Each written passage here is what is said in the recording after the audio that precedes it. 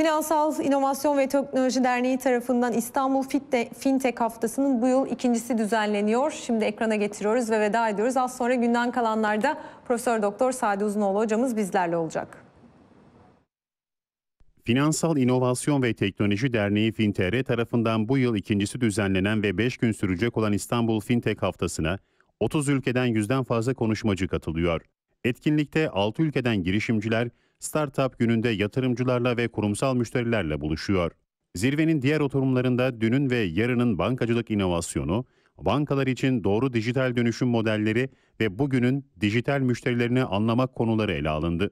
Bankacılıkta inovasyon, dünü ve yarını başlıklı panelde Yapı Kredi Bankası'ndan Evren Şahin'in moderasyonunda F-Data Global'den Gavin Littlejohn ve Railsbank kurucu ortağı Nigel Verdon özellikle açık bankacılık ve finansal ekosistem geliştirme başlıklarına odaklandılar.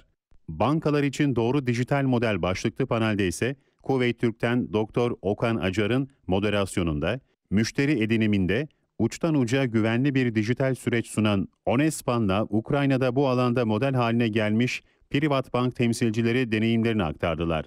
Üç farklı bakış açısıyla da Elego'dan Başak Kural, Garanti BBVA'dan Bora Uludüz ve İnin Al'dan Gülben Yağcı dijital müşteriyi anlamak başlığında bir araya geldi.